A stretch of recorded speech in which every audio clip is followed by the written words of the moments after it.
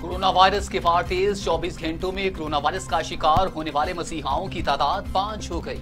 लाहौर में दो, हंगू, फैसलाबाद और गुजरावाला में एक एक डॉक्टर जान की बाजी हार गया। पीएम में गुजरावाला ने सीनियर डॉक्टर की मौत पर रज्जो गम का इजहार करते हुए योम स्याह मनाया। लाहौर जनरल अस्पताल के एमएसबी वबाई मर्ज का शिकार होकर आइसोलेशन में चले गए।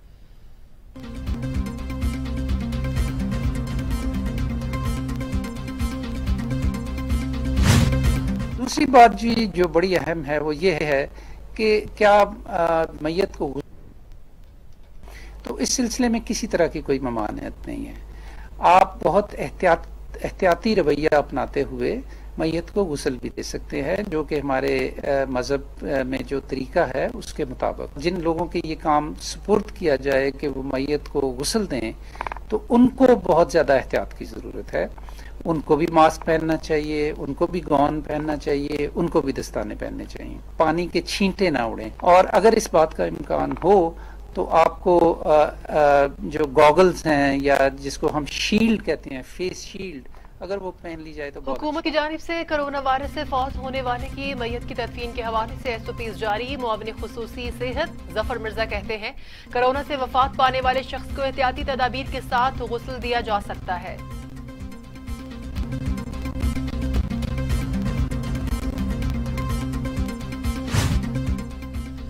Chief justice Balochistan high court justice Jamal Khan Mandokhel का कोरोना वायरस का टेस्ट मस्बत आ गया, जिसके बाद वो आइसोलेशन में चले गए। तर्जमान के मुताबिक चीफ जस्टिस घर से ही अहम अदालती अमूर सर अंजाम दे रहे हैं और इनकी हालत बेहतर हो रही है।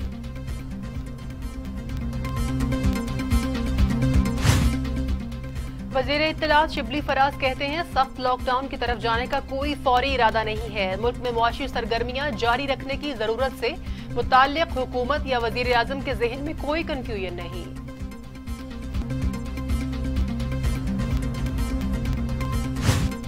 पंजाब असम्बली का इजलास पाँच जून को निजी होटल लाहौर में तलब कर लिया गया। स्पीकर पंजाब असम्बली चौधरी परवेज इलाही ने इजलास दोपहर तीन बजे तलब किया। रूल्स 235 और एफ़ वन दो के तहत क्रिस्टल और royal grand hall chamber declare. Chaudhry Pervaiz Elahi ने कहा कि कोरोना एस ओ पीज के तहत अरकान का सिटिंग प्लान तरतीब दे दिया गया। तमाम सियासी जमातें अपने अरकान के कोरोना टेस्ट यकीनी बनाएँ।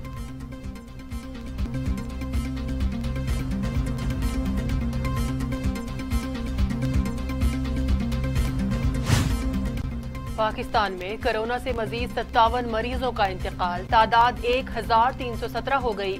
मजीद दो हज़ार छह सौ छत्तीस अफराद में वायरस की तशखीस।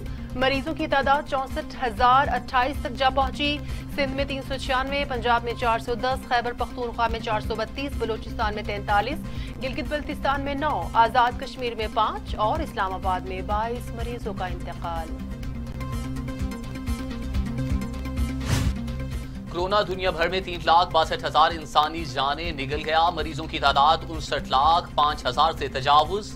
अमेरिका में एक लाख तीन हज़ार, बरतानिया में सैंतीस हज़ार आठ सौ सैंतीस, इटली में तैंतीस हज़ार एक सौ बयालीस, स्पेन में सत्ताईस हज़ार एक सौ उन्नीस, फ्रांस में अठाईस हज़ार छह सौ बासठ, भारत में चार हज़ार सात सौ ग्यारह और ब्राज़ील में छब्बीस हज़ार चार सौ चौसठ अम्बात अवाम के लिए खुशखबरी। ओगरा में पेट्रोलियम मसनूआत की कीमतों में ग्यारह रुपए तक की कमी, समरी वजारत पेट्रोलियम को भिजवा दी। पेट्रोल सात रुपए छह पैसे और मट्टी का तेल ग्यारह रुपए अठासी पैसे। लाइट डीजल नौ रुपए सैंतीस पैसे, जबकि हाई स्पीड डीजल पाँच पैसे महँगा करने की सिफारिश। एहतसाब अदालत ने तोशाखाना रेफरेंस में सबक वजी अजम नवाज़ शरीफ के वारंट गिरफ्तारी जारी कर दिए जबकि आसिफ सरदारी को आज हाजिरी से इस्तना मिल गया। ग्यारह जून को तलब नैब की जानब से यूसुफ रजा गेलानी और अब्दुल गनी मजीद को गिरफ़्तार करने की इस्तः मुस्तरद।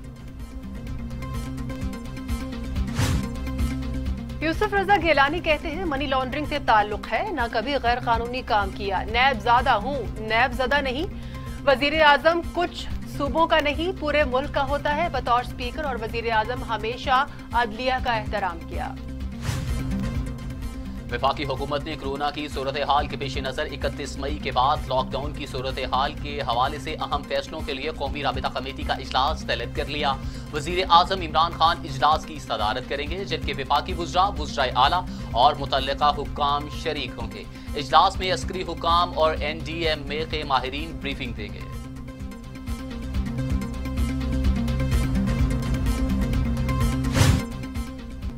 पंजाब और खैबर पख्तूनख्वा में ईद से पहले वाला लॉकडाउन शेड्यूल बहाल कर दिया गया। दोनों सूबों में आज से इतवार तक बाज़ार बंद रहेंगे। पीर से जुमेरात सुबह नौ से शाम पाँच बजे तक कारोबार की इजाज़त होगी। अवाम के लिए खुशखबरी। महकमा रेलवे का 31 मई के बाद भी एडवांस बुकिंग जारी रखने का फैसला। लॉकडाउन के दौरान चलाई जाने वाली 15 ट्रेनों की एडवांस बुकिंग जारी रहेगी। ट्रेनों की टिकट्स के बुकिंग ऑफ़िस सुबह आठ से रात आठ बजे तक खुले रहेंगे। नोटिफिकेशन भी जारी। सदर all Pakistan private schools association, Kashif Mirza ने हुकूमत से यकम जून से स्कूल खोलने का मुतालबा कर दिया। कहते हैं ढाई करोड़ बच्चा पहले ही स्कूलों से बाहर है। पाँच करोड़ वबा की वजह से घर में है। पंद्रह लाख टीचर्स स्कूलों के लॉकडाउन की वजह से मुतासर हुए। हुकूमत हमारे साथ एस ओ पीज पर मुजाकर करे। अगर स्कूल नहीं खोलने तो इस को तनख्वाहें दे।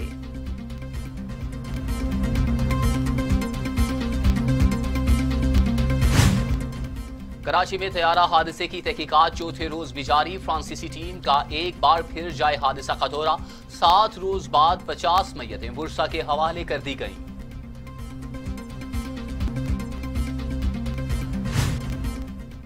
तैयारा हादसा केस में शहदा के लवाकिन को मुआवजे की अदायगी शुरू कर दी गई। पहले मरहले में छत्तीस अफराद को मुआवजा अदा कर दिया गया। तर्जुमान पी आई ए का कहना है कि छत्तीस अफराद को दस लाख फीकस मुआवजा अदा कर दिया गया है। बकिया मुसाफिरों के वरसा को भी एक दो दिन में मुआवजा अदा कर दिया जाएगा।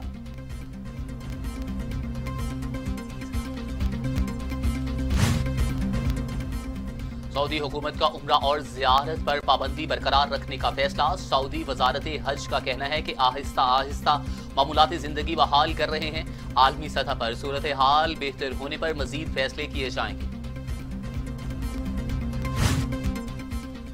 अकवा मुतहदा की अमन फौज का आलमी दिन आज मनाया जा रहा है। अमन मिशन में पाकिस्तान का मिसाली किरदार, दो लाख से जायद जवानों और अफसरों ने अमन मिशन में हिस्सा लिया। चौबीस अफसरान और एक सौ सत्तावन जवान शहीद हुए। पाकिस्तान अमन मिशन में खातन को भेजने वाला वाहिद मुल्क है। पाकिस्तान यूएनओ चार्टर के तहत आलमी अमन के लिए काम जारी रखेगा और इस मकसद के हसूल के लिए इसका अज़म मुस्तकम रहेगा। पाकिस्तान बहादुर अम फोर्सेस की कुर्बानियों के जज्बे की याद मनाता है। अम के प्याम पर दुनिया में इंसानियत की खिदमत में मसरूफ हैं। अम फौज के आलमी दिन पर army chief general Qamar Javed Bajwa का पैगाम। नॉर्वे में फंसे पाकिस्तानी शहरियों को वतन वापस लाने के लिए पीआईए की खसूसी परवाज, इस्लामाबाद से रवाना। कौमी एयरलाइन पाकिस्तानियों को लेकर रात को वापस पहुंचेगी। लॉकडाउन में पिसे अवाम पर बिजली गिराने की तैयारियाँ। यूनिट में दो रुपए तक इजाफा मुतव अवाम पर एक सौ बासठ अरब रुपए का इजाफी बोझ पड़ेगा नेपरा फैसला तीन जून को करेगा। विफाकी बजट 12 जून को पेश किया जाएगा। कोरोना वायरस के बाद तमाम अफदाफ कम रखने का फैसला। हजम में 10 फ़ीसद इजाफे की तजवीज। आलमी मालियाती इदारे समेत दीगर इदारों को एतमाद में लिया जाएगा। मुल्क भर में रवा हफ़्ते के आखिरी कारोबारी रोज के दौरान अमरीकी डॉलर एक मरतबा फिर बुलंदियों की तरफ़ जाने लगा। ओपन मार्केट और इंटर बैंक में बिल तरतीब। अमरीकी करेंसी एक रुपया सत्तर पैसे और एक रुपया बारह पैसे महँगा हो गया।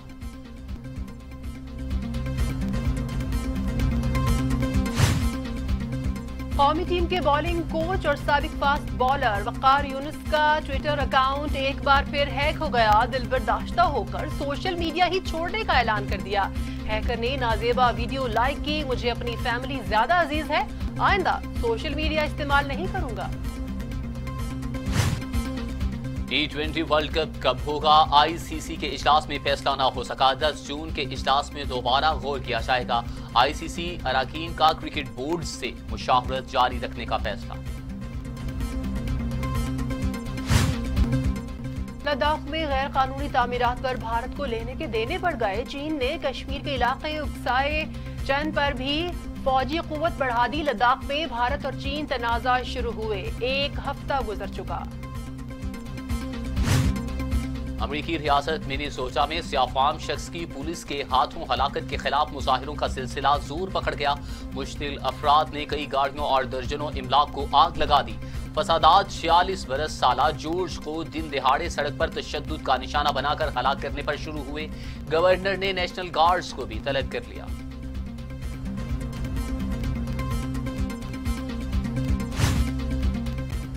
अमेरिका में सदर डोनाल्ड ट्रंप का दौर इकतदार इजहार राय की आज़ादी के लिए बदतरीन दौर रहा। इस वक्त की ताज़ा मिसाल उस वक्त सामने आई, जब मिनी पुलिस में मुजाहरों की कवरेज करने वाले सहाफी को लाइव रिपोर्टिंग के दौरान गिरफ़्तार किया गया। सहाफी अपनी गिरफ्तारी की वजह पूछता रहा, पुलिस एहलकार खामोशी से हथकड़ी लगाकर ले गए।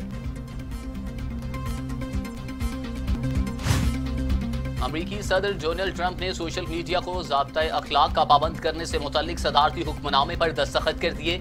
अमरीकी सदर की समाजी राबतों की वेबसाइट ट्विटर को बंद करने की धमकी। सोशल मीडिया की अजारादारी को खत्म करेंगे।